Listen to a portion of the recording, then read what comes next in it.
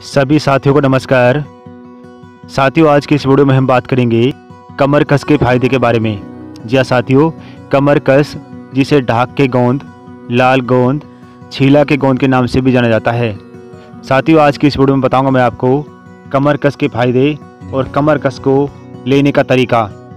साथियों कमर कस में पोषक तत्वों से भरपूर होता है, क्योंकि इसमें मैग्नीशियम, फास्फोरस, लोहा, पोटेशियम सोडियम और फोलेट होता है, जो जोड़ों के दर्द और पीठ दर्द को कम करने में सबसे अच्छा है।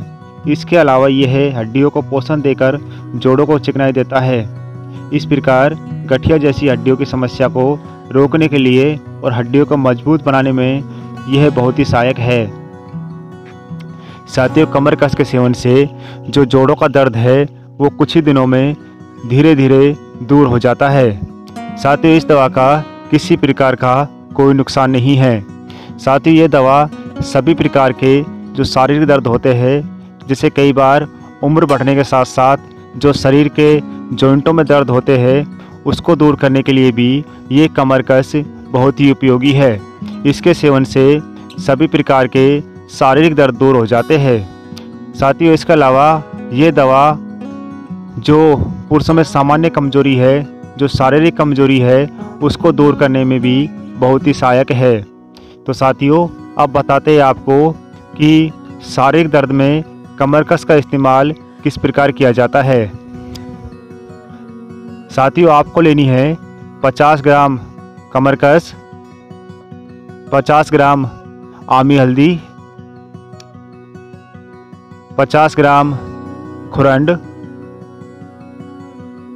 और 100 ग्राम बाल मिश्री। साथ ही ये तीनों चारों चीज़ें आपको, जो आपके आसपास पंसारी है, उसकी दुकान पर आसानी से मिल जाएगी। अब साथियों, इन दवा का इस्तेमाल किस प्रकार करना है, वो बताते हैं आपको।